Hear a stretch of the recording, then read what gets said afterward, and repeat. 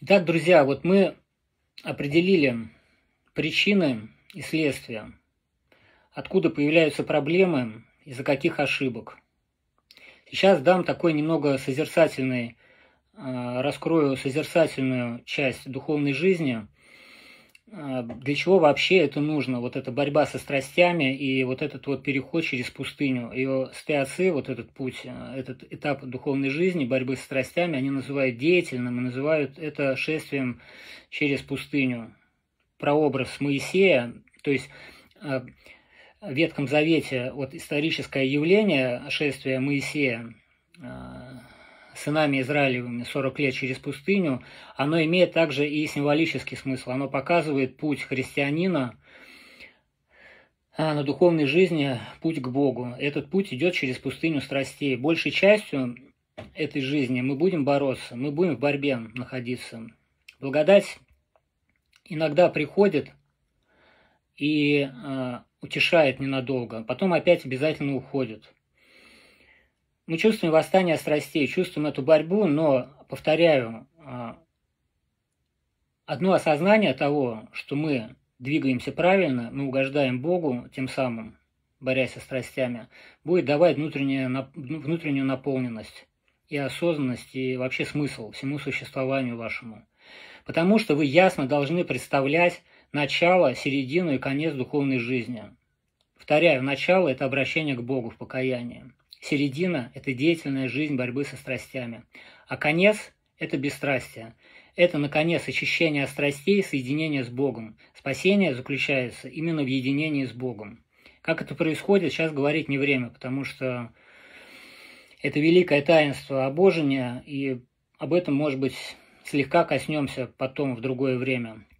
Просто вы знаете, что соединение с Богом в молитве дается только чистому сердцу уже стабильное, постоянное, не временное от а случая к случаю, а именно такое вот уже нерушимое. Это, это святость. И она дается вот в течение жизни очень редким избранникам Божиим. То есть полное бесстрастие, благодать бесстрастия, обожение дается крайне редко. Обычно человек чувствует усмирение страстей к концу жизни – а иногда даже на смертном одре или даже сразу после смерти на мутарствах происходит очищение, но оно обязательно происходит.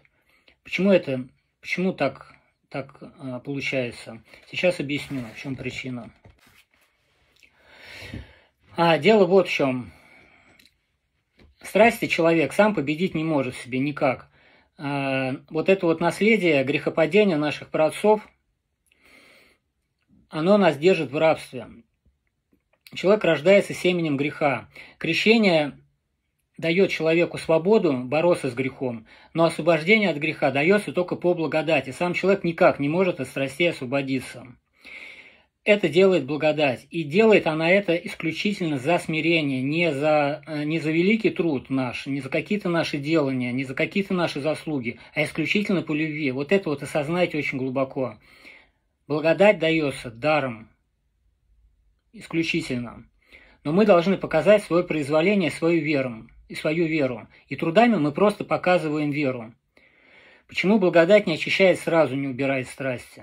Потому что гордость настолько в нас глубока, что если нас сразу освободить от страстей, вот буквально там при первом обращении, мы просто забудем, что мы люди. Мы впадем в еще большую гордыню, чем наши праотцы, и станем демонами. Макарий Великий об этом очень подробно описывает. Кто хочет, может ознакомиться с источником. Я ничего не говорю от себя, говорю все по учению святых отцов. И как меня научили старцы.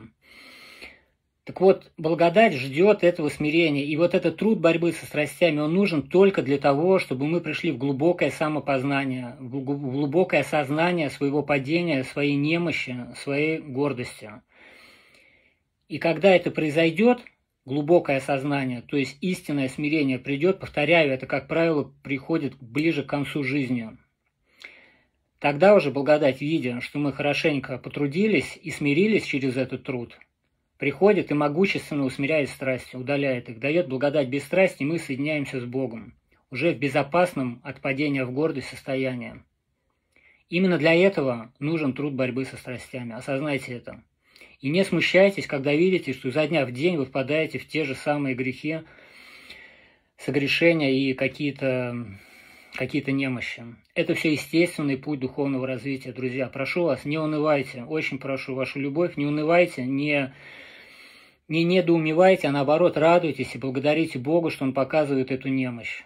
И изо дня в день продолжайте методично делать одно и то же. Труд борьбы со страстями из любви к Богу, осознанно, с полным пониманием того, что вы делаете и для чего. И вот он весь путь духовного спасения от начала до конца. Начало обращения к Богу в покаяние, середина – это деятельная, осознанная, повторяю, осознанная борьба со страстями, и конец – это смирение, с которым приходит Божья благодать, очищает сердце полностью от страстей, могущественно освобождает от страстей, и в чистом сердце зарождается настоящая духовная любовь, а созерцание Бога.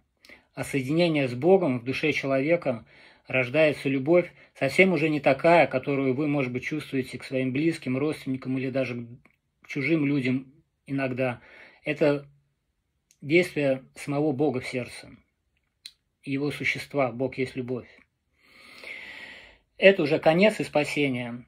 И даже если мы останемся до конца своих дней, до последнего издыхания на этом пути борьбы со страстями, друзья, мы уже спасены, мы уже угодны Богу, мы на правильном пути спасения.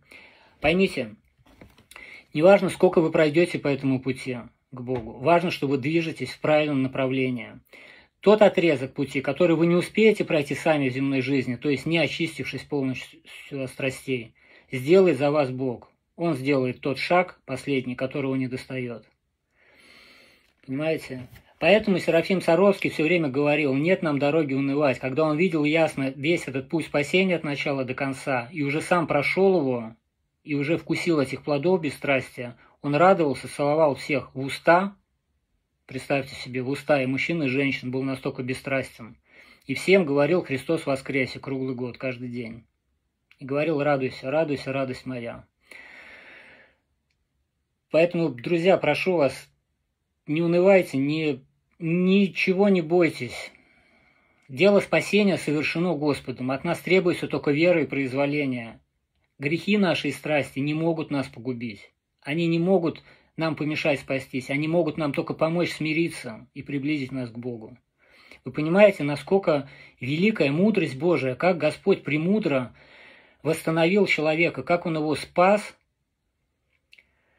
и как премудро он все делает так, чтобы человек был в полной безопасности от всего, от любых страстей, нападений, какие угодно. Небо с землей столкнется, но верующему человеку ничего навредить не может. Понимаете? Поэтому апостол Павел говорил верующему все на благо. Кто дослушал эту публикацию до конца, ему хватило терпения, тот уже сделал очень большие шаги на пути спасения, даже если ему кажется, что он нисколько не преуспел духовно, этот человек уже зрелый. И я желаю всем оставаться на этом пути делания и мы будем общаться, будем друг друга поддерживать в духе любви, смирения, в молитве. Будем напоминать друг другу это все. То, что я сейчас сказал, я еще много-много раз буду повторять, потому что мы так устроены, что вот эта страсть забвения, по которой святые отцы пишут, самая опасная страсть забвения, потому что она именно погружает нас в мрак неведения, мы не знаем, куда двигаться. А эта страсть забвения вынуждает нас повторять часто одно и то же, и самим себе, и другим. Так и будем, помогая друг другу, двигаться на пути спасения. Друзья, люблю вас, обнимаю. А, хочу сказать, что мне не удалось попасть на почту, прошу прощения, сертификаты так и не выслал, но у меня все в синодике все записаны. А, сертификаты выписаны. Как только доберусь до почты, очевидно, в понедельник, э, до субботы мы будем работать, надо все закончить уже, потому что обещают дожди. Вот, как только выберусь на почту, в понедельник всем все отправлю.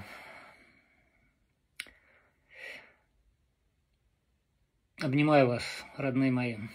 С Богом. Простите за ошибки, если какие-то допускаю, за погрешности. За все прошу прощения. Люблю вас.